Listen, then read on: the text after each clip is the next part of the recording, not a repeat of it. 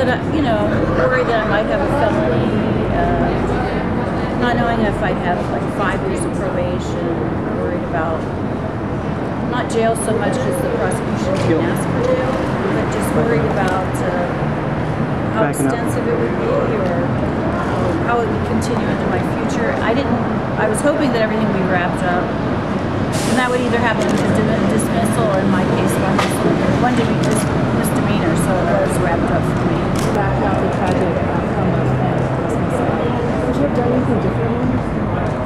hindsight's 2020. I mean, yes, I maybe would have tried to be better, tweak things, or done something differently. But she was a force to reckon with, and you know, I, would, I had to deal with what she dealt me, and uh, it wasn't easy. I mean, she- It was a difficult time. I, uh, she had good days and bad days. Sure. Um, some days were really bad, and I had to try to keep her going. That was tough, and I wanted her to live and you know, have a more of a family and get married and have her dreams come true.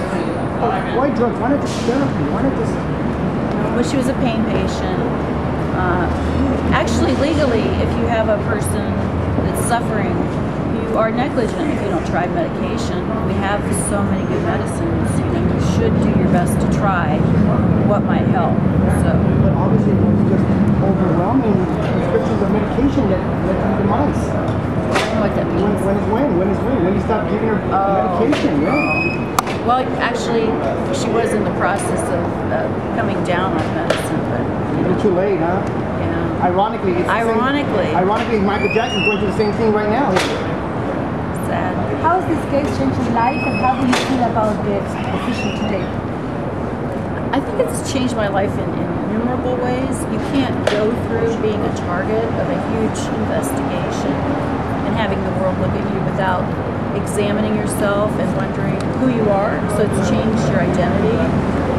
It makes you stronger. It is true if you don't completely fall apart, it can make you stronger. But you get to the edge of falling apart because of the pressure of everybody looking at you. Like, who am I? Know, am I this person? How do you feel about the decision today? very good. I like Judge Perry. I'm very grateful